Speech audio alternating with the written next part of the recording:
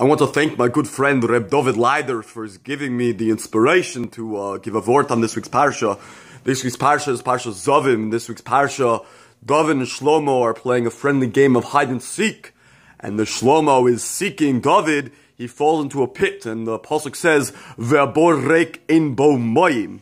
So Rashi comes in and says, "Oh, ve'abor reik." This clearly means that the pit was filled with snakes and scorpions.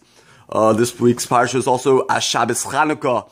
Uh, in the Gemara, they bring down a teretz that they were debating whether you should light the candles from right to left or vertically to horizontally. So a bas kol came down and says to them, it doesn't really matter. Uh, and Reb Yonasan responded, Loi b'shmaim which means, shut up God, no one asked you. Shabbos. Chodesh Tov.